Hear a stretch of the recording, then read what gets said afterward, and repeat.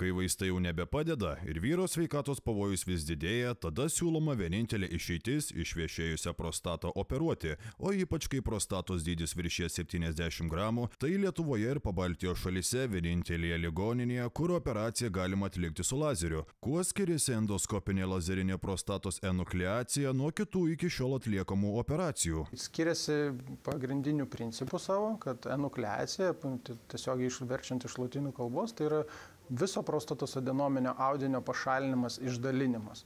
O rezekcija yra dalis šito audinio išpjovimo. Be abejo, išpjauname didžioji dalis, bet adenomos išdalinimas yra žymiai radikalesnis gydimas.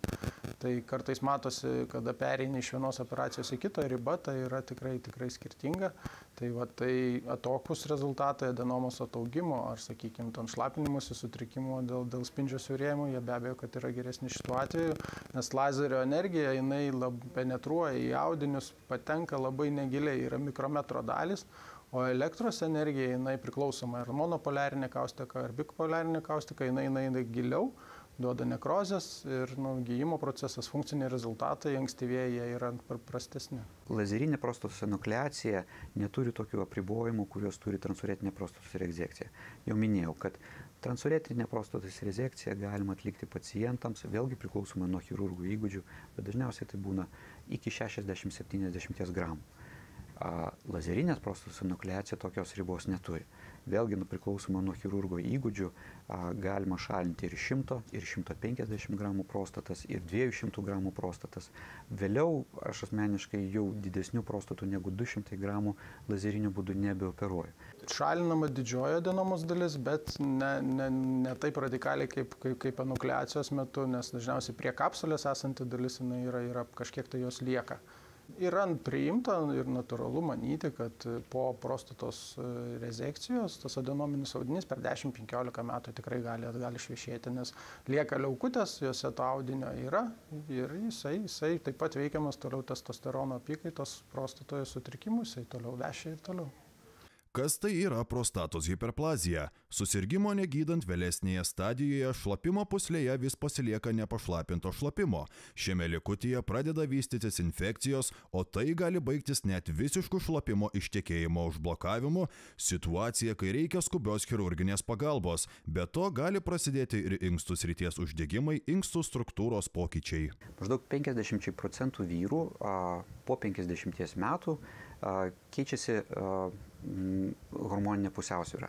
Reiškia, ir vyriškasis hormonas testosteronas labiau virstantis yra į jo mažėją, jisai virsta į dehidrotestosteroną, kuris kaupiasi prostatos centrinėje dalyje ir, ir būtent tas dehidrotestosteronas skatina epitelinių ir stromos ląstelių išvešėjimą. Tuo pačiu yra sulėtėję ląstelės žūties procesas ir ko pasiekoje mes turime daugėjančių ląstelių prostatoje, jos didėja ir automatiškai didėja pati prostata. Mes turėjome išskirtinę galimybę stebėti unikalią endoskopinę lazerinę prostatos enukleaciją nuo pradžios iki pabaigos. Operacija užtruko 3 valandas. Operacijos eigoje neslėpsime, buvo labai įtemptų momentų momentų ir net reikėjo skubiai tarti su kitais gydytojais, nes kiekvienas pacientas unikalus ir be netikėtumų čia neapseinama, nežiūrint į tai, kad Respublikinėje Vilniaus universitetinėje ligoninėje urologijos skyriuje tai toli gražu ne pirma panaši operacija, bet viskas iš eilės. Operaciją gali atlikti tik patyręs urologas.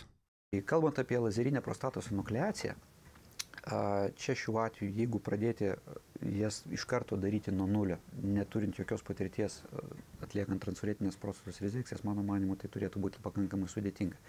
Tačiau, jeigu gydytojas urologas jau turi patirtį atlikdamas transuretinės prostatos rezekcijas, jam įvaldyti lazerinę prostatos nukleaciją vėlgi turbūt reikėtų kokių 20-30 procedūrų, apie 30 procedūrų. Ant operacijos stalo į urologo Igniaus Lukošiaus rankas pateko labai sunkus pacientas. Gerybinės prostatos hiperplazijos gydimas yra pavėluotas ant tiek, tiksliau jisai buvo, jinai net nediagnozuota, kad pacientas kreipėsi su skundu vieninteliu ligoninė, tai buvo šlapimo susilaikimas, jisai nebegalėjo pasišlapinti.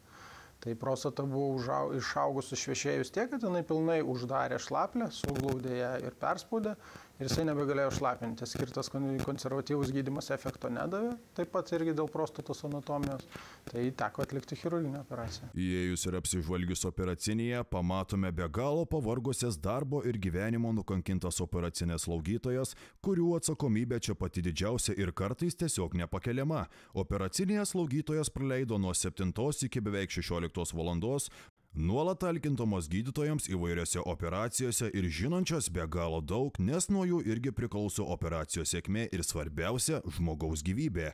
Eilinį kartą įsitikinome, kaip mes dar vis neįvertiname to, ką ji daro kasdien su meilė, iš širdies, šipsodamasi ir bendraudama su mumis, bet grįžtume prie operacijos. Esmė yra tokia, kad į lazerio aparatas, jisai generuoja, generuoja spindulį, kuris yra perdodamas per kvarcinę skaidulą į patį patį galiuką ir, reiškia, priglaudus, e, reiškia, tą kvarcinę skaidulėlę prie audinių toj vietoj, kur mes norime pjauti, susiformuoja toksai oro burbuliukas, kuris sproksta, sukeliama yra aukšta temperatūra ir toj vietoj yra išgarinamas audinys. Ir tokiu būdu mes galime, reiškia, atskirti mums reikiamą zoną, išviešėjusi audinį nuo periferinės zonos.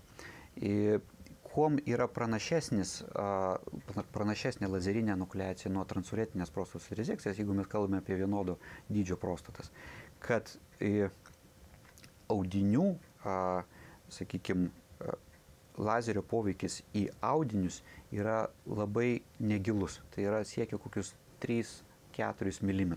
Taip, bet tuo pačiu mes labai gerai prapjaunam audinį ir tuo pačiu labai gerai sustabdom kraujavimą kai mes atliekame transuretinę prostatos rezekciją su elektros kilpele, energijos skvarba į audinius paliktus periferinėje prostatos zonoje, ta prasme, yra kur kas gilesnis. Atitinkamai vėliau tai gali visgi turėti ankstyvuoju poperaciniu laikotarpiu šiek tiek umesnę iritacinė simptomatika, tai yra stipresni skausmai išlapinimus metu, dažnesnis ėjimas pasišlapinti. Operacija prasidėjo nuo pirmo etapo. Iš viso etapų yra du adenomos leukinio audinio išpjovimas ir antras etapas - išpjauto audinio smulkinimas ir išsirbimas. Šito etapo gydytojai dar tarpusavyje vadina žvejyba. Kai mes atliekame lazerinę prostatos nukleaciją, principas yra toksai, kad kai būna išviešėjusi prostata, yra dažniausiai susiformavę trys vadinami adenominiai mazgai. Tai yra šo, vienas kairiai šoninė skilti, antras mazgas dešiniai šoninė skilti ir centrinėje dalyje. Ir mes, pjaudami lazeriu, išlūkštename visus tuos tris mazgus ir jie visi sukrenta iš šlapimo pūslę. Tai čia yra tik tai vienas operacijos etapas, kur mes panaudojam lazerį. Antrasis operacijos etapas tai yra jau išlapimo pūsliai įkišamas kitas endoskopinis instrumentas, kurio gale yra tai vadinamas morceliatorius. Tai yra a, greitai judantis peiliukai su siurbliu. Ir tuos visus mazgelius, mazgus a, siurbliukas siurbia, o greitai važinėjantis peiliukai juos smulkina. Smulkina, smulkina ir tada visi tą vadinamą histologinę medžiagą, visi šitie audiniai a, renkasi talpoj į talpą, kurią mes po to jau visą tą, tos audinius išsiunčiam daktarui patologui ištirti. Antras operacijos etapas smarkiai palgėjo, nes vieno audinio gabaliuko žvejyba netikėtai užtruko. Jis pasirodo labai kietas ir nepasiduodavo išgaunamas. Tada prireikė pakviesti į pagalbą mokslo daktarą Andrių Gaižauską. Daktaras patarė pakeisti žvejybos taktiką ir panaudoti kitus įrankius. Tas ir buvo padaroma. Gabaliukas pagaliau išsupjaustytas dalimis ir ištrauktas. Per visą operaciją laimikis labai didelis. Pavyko sužvejoti apie 100 gramų audinio. Ankstyvieji funkciniai rezultatai po holepų yra labai geri. Palyginus su tiek, kiek audinio adenominio yra pašalinta, pacientui rytoj bus pašalintas drenas iš pilvo sienos drenuojantis šlapimo pūslę, poryt bus pašalintas šlapimo pūslės kateteris ir jisai šlapinsis. Ir, ir pradžioj gali būti šioks toks kraujavimas, kol uro hematoma išsišlapina pacientas, o po to nei skausminių pojūčių stiprių nėra, nėra mm, imperatyvaus šlapinimus, kaip minėjau, dėl to, kad lazerinė energija jinai yra labai stipri, bet jinai neplinta giliai į audinius, jinai duoda paviršutinių audinių tik tai poveikį fizikinį ir tai leidžia užtikrinti geresnę, geresnę savijautą negu po tokio didelės apimties rezekcijos kai kuriais atvejais Tai yra net techniškai neįmanoma iš vis pašalinti per, per šlaplę rezekcijos būdu tokio dydžio prostatą. Operacinis buvimas ligoninė pacientų nėra labai ilgas, jisai gali trukti kokias 2, 3, 4 dienas, vėlgi priklausomai nuo operacinės eigos. Ir čia šiuo atveju, ko gero, reikėtų labai mm, apibriežti, kad sveikimas po šitų operacijų jis yra mm, ilgalaikis. Ir pirmasis etapas tai yra būtent paciento buvimas ligoninėje, kai, kai mes jau pašalinam kateterį iš šlapimo puslės, pacientas pradeda šlapintis, pačioj pradžioje jisai šlapinasi ir su krešuliukais, ir rausvas šlapimas, ir skausmingas tas šlapinimas kažkiek gali būti, bet tas tie skausmai yra valdomi a, nuskausminamaisiais vaistais. Pacientas dažniau keliasi, eina pasišlapinti, jis pirmąją naktį tikrai pakankamai dažnai eina pasišlapinti, bet vėliau su kiekviena diena ta visa simptomatika, jinai vis mažėja ir lėtėja, silpnėja ir nebebūna tokia išreikšta. Mm,